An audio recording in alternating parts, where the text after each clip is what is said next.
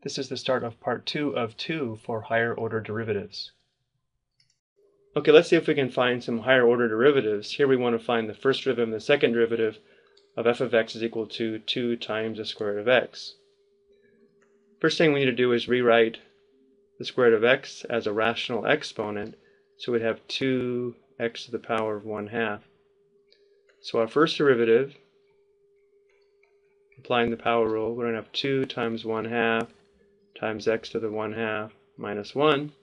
Simplifying here, we would, we would obtain x to the power of negative 1 half. To find the second derivative, we need to find the derivative of the derivative, or the derivative of this function here. So again, applying the power rule, we'd have negative 1 half x to the power of negative 1 half minus 1, which would equal negative 1 half x to the negative 3 halves power.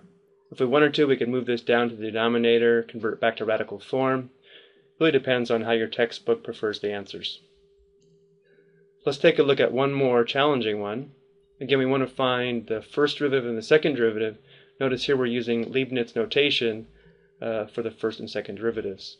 Okay, so our first derivative, we should recognize that this is going to require the chain rule. If our u is equal to x to the second plus 5x, that would make our function y equal to u to the fourth.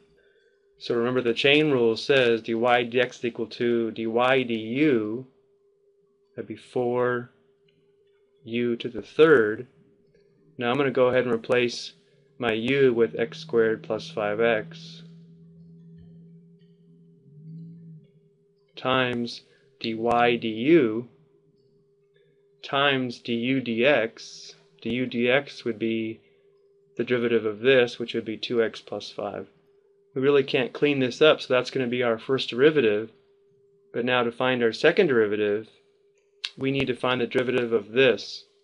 Well, here we have a product of two functions, so we're going to have to use the product rule. We'll call this the first function, and we'll call this the second function. Let's go ahead and write out the product rule, and then we'll find the derivatives. So we have the first function times the derivative of the second, plus the second times the derivative of the first. So now we have to find the derivative of this and find the derivative of this, and this is going to require the chain rule again. So the derivative of 2x plus 5 would give us 2. To find the derivative of this, we're going to have to apply the chain rule again. So this is going to be our u. So that means this is going to turn into 4u to the third.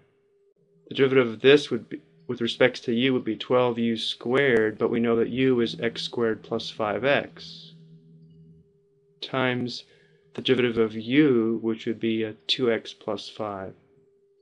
Okay, so we're reviewing a lot of different differentiation rules. What we have left now is a bunch of algebra. We can multiply the 4 times the 2 to get 8. Here we have a 12. We have two factors of 2x plus 5, so we have 2x plus 5 squared. And then we also have two factors of x squared plus 5x. Now, I'm okay with this as a final answer, but many textbooks still like to factor out the common factors. Notice we have a common factor of x squared plus 5 to the second power in both of these. So let's go ahead and take it one more step on the next slide. Here's what we had. A common factor between these two products of 4 and also x squared plus 5x squared. So if we take out the 4 from the 8, we're left with this 2. We take out two of these factors of x squared plus 5x, we're left with one factor. On the second product, if we take out the 4, we're left with the 3. We didn't take out any of the factors of 2x plus 5, but we did factor out both factors of x squared plus 5x. Now what we can do is distribute the 2, multiply this out, and then see if we can combine any like terms. So we'd have 2x squared plus 10x times 3 Now here, if we 60x. FOIL this out, you can stop and do it if you want. We'd have a 4x squared times 3, that would give us 12x squared. Then we'd have a 10x plus 10x, that would be 20x. And then 5 times 5 would give us 25 times 3, should give us 75. So the last step is let's combine our like terms.